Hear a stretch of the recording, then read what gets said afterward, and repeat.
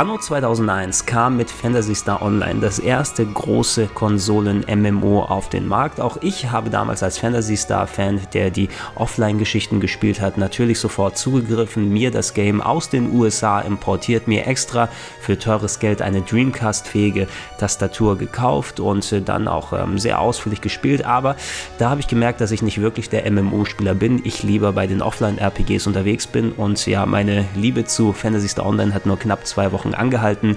Ich kann mich an ein Ereignis noch erinnern, da habe ich mit einer Gruppe von drei Italienern knapp zweieinhalb Stunden in einem Dungeon verbracht und irgendwie war es das dann für mich und ich habe es nie wieder angefasst. Letzten Endes hat es aber dazu geführt, ein klein wenig, dass ich ursprünglich den Nachfolger Fantasy Star Universe hatte liegen lassen, als der Ende 2006 rausgekommen ist für PS2, PC und Xbox 360. Aber nachdem ich mir einige Zeit später meinen ersten eigenen HD-Fernseher gekauft habe, war Fantasy Star Universe das erste Rollenspiel, was ich in HD gespielt habe und es mir deshalb auch ziemlich positiv in Erinnerung geblieben ist.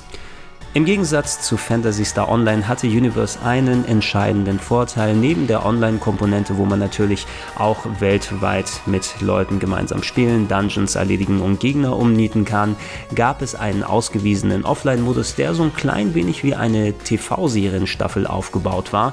In zwölf Kapiteln, jedes knapp eine plus Stunde lang, gab es jeweils ein Intro und ein Outro, eine teilweise in sich abgeschlossene Geschichte, die aber auch auf die größte größere Storyline gewissen Einfluss hatte und äh, das war eine relativ neuartige Struktur und äh, da habe ich mich da hauptsächlich rein verbissen. Inhaltlich macht Fantasy Star Universe jetzt äh, nicht allzu große Luftsprünge. Die Geschichte rund um den jungen Kadetten Ethan Weber, der während eines Angriffes einer mysteriösen Alien-Flotte sich den sogenannten Guardians anschließt und dann in den Kampf zieht gegen äh, Pflanzen, die gehirnmanipulative äh, Pollen ausstrahlen.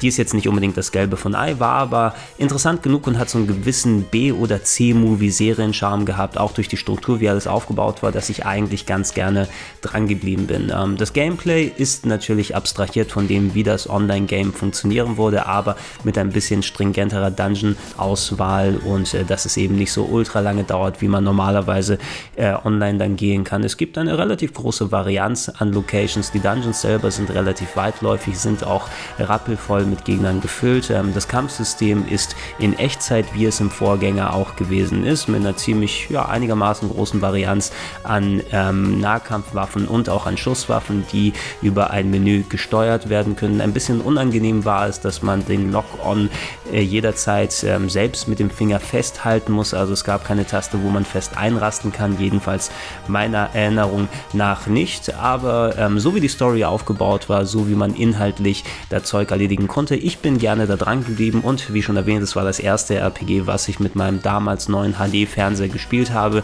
sodass das für mich ein einigermaßen einschneidendes Erlebnis geblieben ist. Heutzutage muss man mal gucken, ob man Fantasy Star Universe direkt noch empfehlen kann. Die 360-Version sollte man für ein Apple und ein Ei bekommen, wenn ihr daran interessiert seid, online zu spielen. Die Server wurden bereits vor längerer Zeit abgeschaltet. Da ist man wahrscheinlich ein bisschen besser damit bedient, nach äh, Fantasy Star Online 2 zu gucken, was in Deutschland nicht offiziell gestartet ist, aber man mittlerweile über internationale Server da reinkommen sollte. Nichtsdestotrotz hat Fantasy Star Universe immer noch einen Platz in meinem Herzen und wird dementsprechend gewürdigt.